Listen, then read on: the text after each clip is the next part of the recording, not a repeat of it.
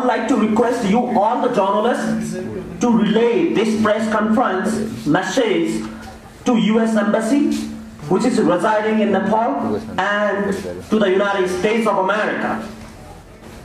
The MCC should either give money to the UNDP, the same, same amount the MCC is planning to invest in my country, Nepal, or wait until the end of 2030. If the situation ever became the case, then this would be the worst possible outcome from the MCC deal.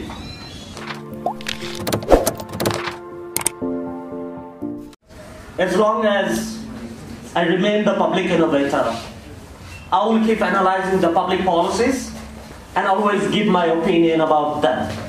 Good afternoon, journalists. Today, I have organized this press conference as I would like to express my views on Millennium Challenge Corporation Compact Deal, which has been signed by Nepal government with the Millennium Challenge Corporation which is best in the United States of America. I would like to request you, all the journalists, to relay this press conference message to U.S. Embassy, which is residing in Nepal, and to the United States of America. I have used following documents on my research. Agreement between Nepal government and MCC of United States of America. I have used this book. I have used all the implemented programs of 48 countries around the world. It starts from Albania to Togo to Zambia to Zimbabwe. I'm sorry for that. In addition to, to this, I have used all the data for my country, for our country, Nepal, which has been prepared by MCC with the reference of World Bank. I have used Global Knowledge Index of 2019. I have used Global Knowledge Index of 2018. I have used Global Knowledge Index of 2017. And the I have used the final book, Prospects of the American Age. I have been checking the inputs and output of this MCC deal to countries where the projects have been implemented and are being implemented. I found that the MCC has made a very good impact on the other 48 countries who are part of the deal as it attempts to reduce poverty through its innovative missions. After its creation by the US Congress in January 2004, the MCC has tried to deliver smart US foreign assistance by focusing on good policies to promote economic growth, reduce poverty, and strengthening institutions. I would like to thank the administration of the MCC, for your cooperation which has empowered the economy of the countries you have worked with so far.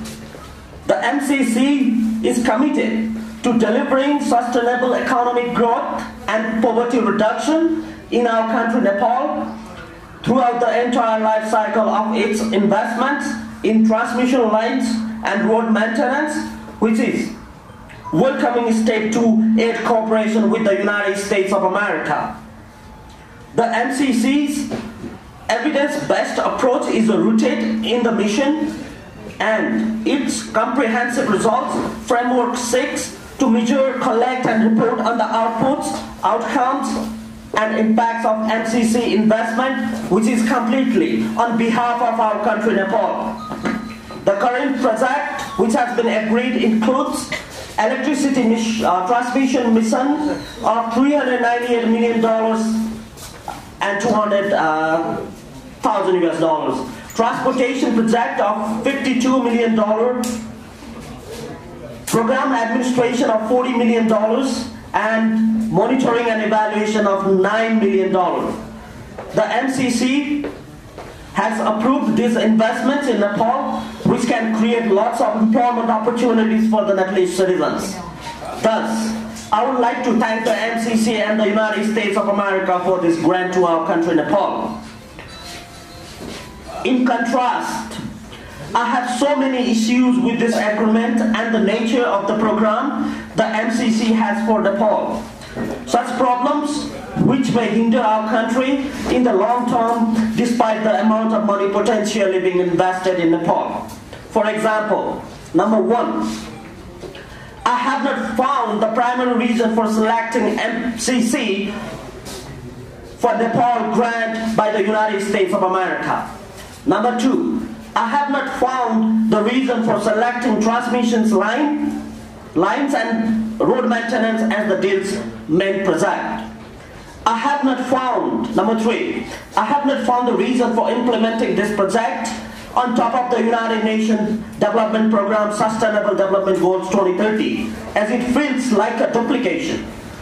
The United Nations Development Program and Sustainable Development Goals have been adopted by the UN states, UN member states since 2015 as a universal call to action to end poverty, protect the planet and ensure that all people enjoy peace and prosperity by 2030.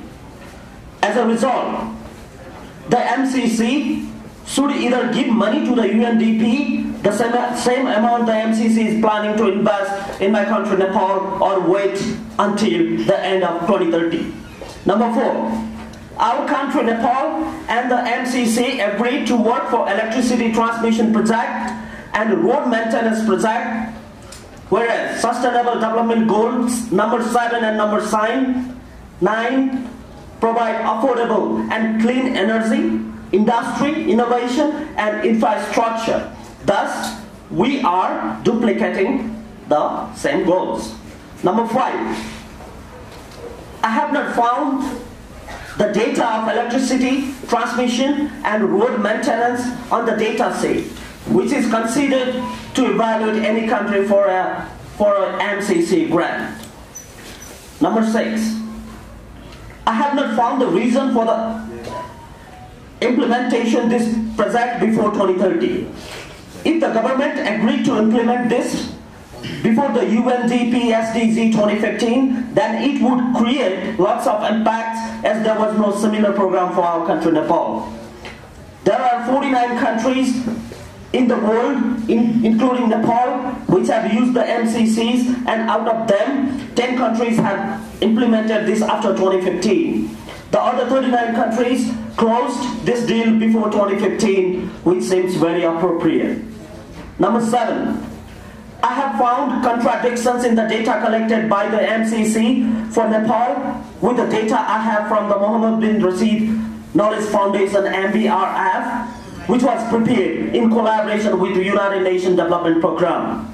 For example, the index of government effectiveness is better in MBRF than MCC. Number eight, countries of our region like India and Bangladesh, where there are numbers of poor people, more so than Nepal, are not implementing this. This is another valid reason not to use it before 2030. Number nine, since the countries like India and Bangladesh are not adopting this policy at the moment, we will not get the regional integration option later if we like to extend the MCC through its third policy, regional integration. For example, the current five countries selected for regional investments are from Western Africa as follows Benin, Burkina Faso, Ivory Coast, Ghana, and Niger. In the case we would like to empower the country through the economic cooperation with the, within the region using the regional integration method, then it will create a problem for not having such programs in our region. Sri Lanka is found to be interested, but we do not have much economic relation with the state. Our main economic collaboration is with India and Bangladesh. Thus, without having their involvement, it might create a problem in the future, even though the MCC is implemented in Nepal only. Number 10, our country has signed a compact agreement, which is clearly a five-year agreement, but MCC 2017 data and agreement based on this needs to be updated with data of 2019 which shows our country's government effectiveness as better. Thus, we need to verify that the project related to electricity transmission lines and road maintenance are still required and important. Number 11, I have serious doubts on the data published by the MCC on its website. Data taken by the MCC is completely wrong in some categories.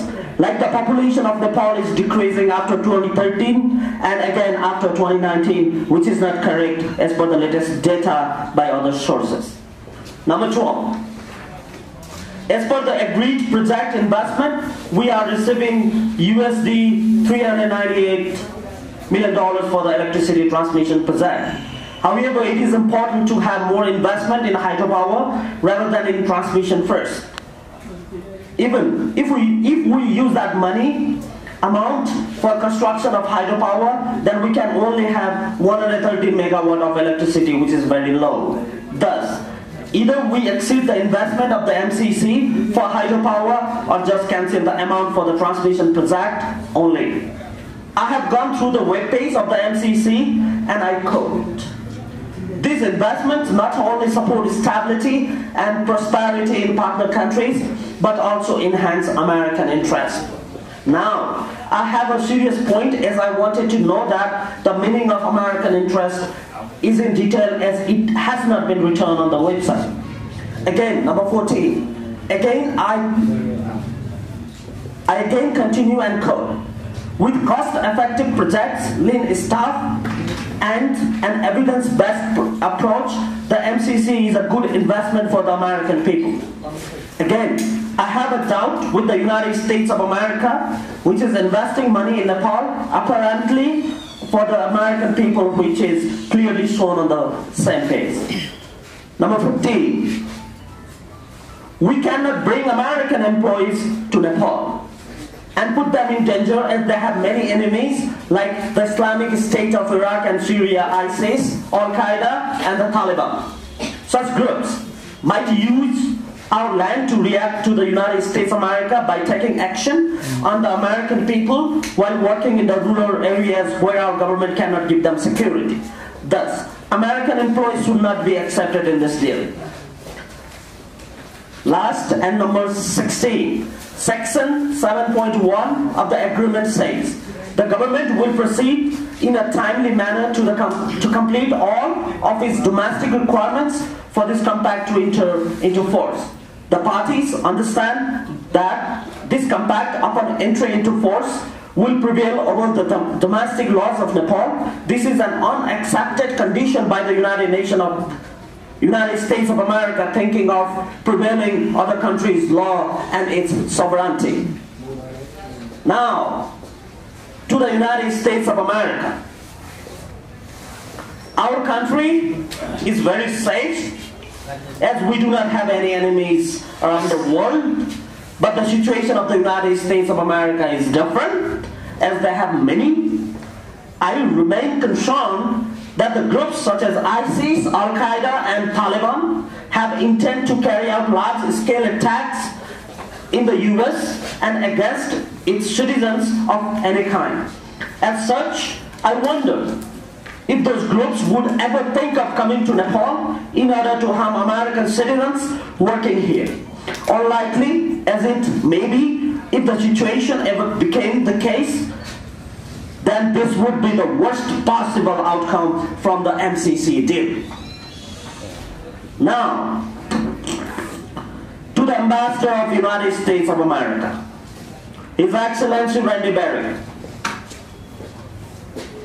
I have seen your efforts meeting with political leaders of Nepal and explanation about the MCC in the Nepali language, but I believe this is completely against the norms of diplomacy. Excellency Randy, I have also gone through your explanation video and the MCC agreement in detail. Excellency Berry, based on your documents and your explanation, I'm not personally satisfied. I'm personally not satisfied that the MCC intends to return to the United States of America following the completion of its possess.